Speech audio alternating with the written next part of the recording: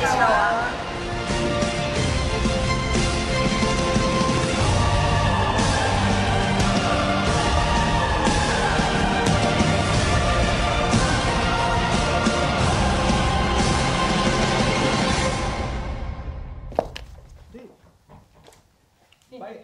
Bersama dengan saya Hisham Saleh dan juga pastinya Annie yang akan terus menemani anda sehingga pukul 9.30 pagi nanti.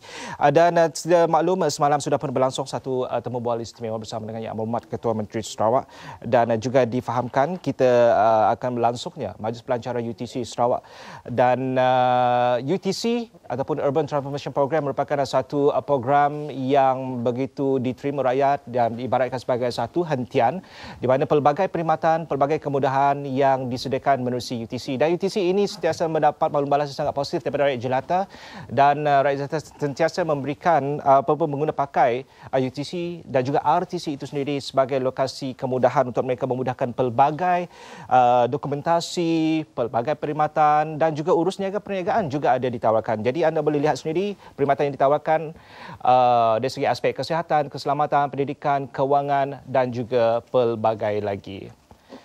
Baik, kita bertuas sekali pada pagi ini apabila saya berkesempatan uh, sudah pun berada di talian sekarang ini yang amat berhormat Tan Sri Datuk Amar Haji Adenan Haji Sati merupakan Ketua Menteri Sarawak berada di talian bersama saya sekarang ini.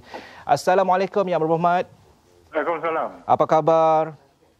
Oh, syukur Alhamdulillah baik. Alhamdulillah. Terima kasih banyak-banyak kami ucapkan terlebih dahulu pada Yang Berhormat Tan Sri atas kesudian bersama kami. Um, kita dimaklumkan, difahamkan malam ini akan berlangsung satu majlis uh, ataupun satu pelancaran untuk UTC Sarawak. Jadi ini merupakan satu lagi uh, platform yang sangat besar yang akan memberi impak kepada rakyat Sarawak khususnya di Kuching. Apa persediaan daripada pihak uh, kerajaan negeri yang berhormat Tan Sri melihat kepada kewujudan ataupun pelancaran UTC ini nanti? Kita terima adanya UTC ini dengan baik. Uh-huh. Ini adalah satu idea yang cemerlang daripada Perdana Menteri kita. Uh-huh. Coba kita fikir dahulu, jika kita dari luar bandar, Yep. nak minta lesen tu, lesen dia, maya bil tu, maya bil dia, mula pasport, mula IC apa yang dah. Paksa pergi situ, pergi siap, pusing situ, pusing dia. Uh-huh. Jadi mudahnya kita jauh, jauh datang jauh. Ya. Yeah. Berikut situ, berikut siap, sakit bah.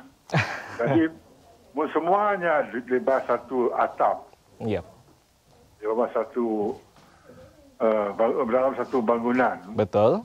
Dan di sini ada 40 lebih pusat kerajaan, uh, jabatan kerajaan dan agensi kerajaan. Uh-huh. Yang ya senang dalam satu hari Betul. kita dapat uh, menguruskan apa apa yang kita mahu dengan senang saja.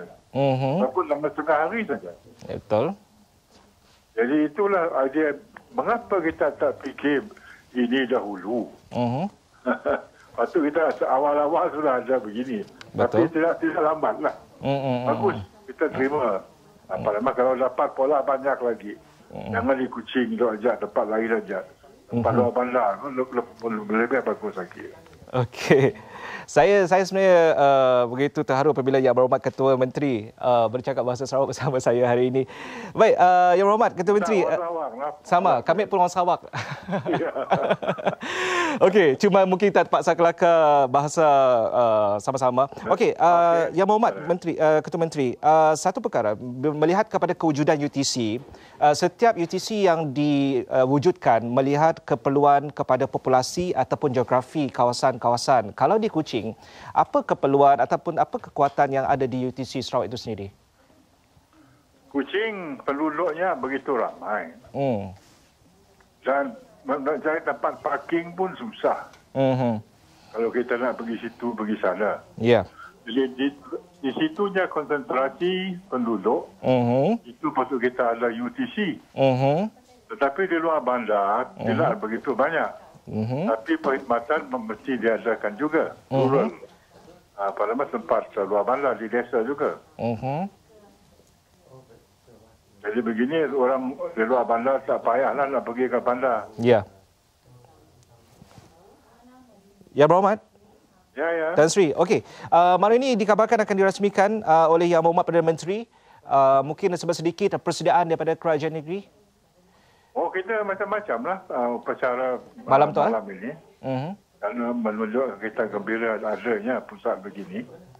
Dan uh, kita sambutan yang baik lah dari Mhm. segi kerajaan negeri Sarawak. Dan orang Sarawak. Tapi yang sekarang banyak orang tidak tahu. Mhm. Ah, itulah kita mesti ada publicity. Aha.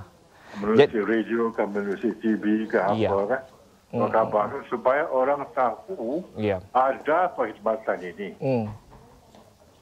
Jadi uh, di ruang yang ada ini mohon kepada Yang Berhormat Tan Sri untuk menjemput seluruh rakyat Sarawak khususnya yang berada di Kuching itu untuk datang di mana tempatnya dan pukul berapa mereka boleh datang bersama-sama menantikan ketibaan Yang Berhormat Perdana Menteri juga Yang Berhormat uh, Tan Sri sendiri. Dalam bahasa luar Sarawak boleh sih? Bikin Hmm. banyak orang tahu. Ah, Kelak lekatnya datangnya. Mana cerita pulang kampungnya. Mana cerita. ada perkhidmatan tu, perkhidmatan dia. Ya, Si betul. payahlah ke boykot itu, boykot dia. Aha. Okey, jadi kami ucapkan terima kasih banyak-banyak kepada kita Yang Berhormat Tan Sri Datuk Amar. Mudah-mudahan malam tu akan lancar terus. Tan Sri. Okey, terima kasih Tan Sri. Terima kasih. Wassalamualaikum.